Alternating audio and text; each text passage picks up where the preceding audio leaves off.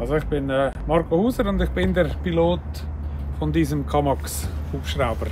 Wir fliegen da Bäume, die nahe an der Eisenbahn sind, fliegen wir raus und zwar stehend. Das heißt, man, man fällt sie nicht, man bindet sie mit einem Seil an, vorgängig und dann heben wir sie stehend auf den Platz. Der Hubschrauber kann 2,7 Tonnen heben und der Baum war da ziemlich knapp an diesen 2,7 Tonnen dran und dann geht es dann halt nicht mehr gleich schnell hoch wie mit einer leichteren Last.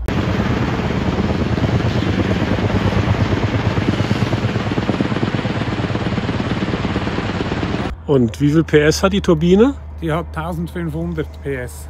Und ist ein moderner Doppelrotor-Hubschrauber, gegenläufig. Ähm, was ist das für ein Modell? Wo kommt der her? Das ist ein äh, Kamax K1200, der kommt von Amerika. Gibt in Europa nur drei Stück und die sind alle bei uns. Also wir sind der einzige Operator in Europa von diesem Modell.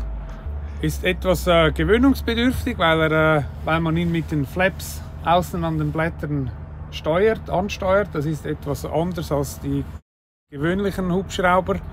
Aber äh, im, Endeffekt fliegt er sich genau gleich wie, wie jeder andere Hubschrauber. Das ist, wir, wir steuern eigentlich alle Steuerbewegungen gehen auf die Flaps. Ja.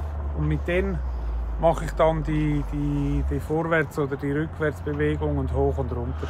Den Pitch verstelle ich mit den Flaps. Ah ja. Alles. Mhm. Also die, sind, die Blätter sind innen fix montiert, die haben kein Drehgelenk.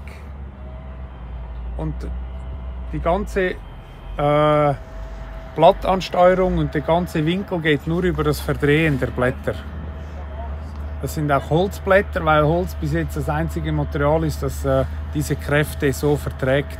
Und keine Materialermüdung kennt. Genau.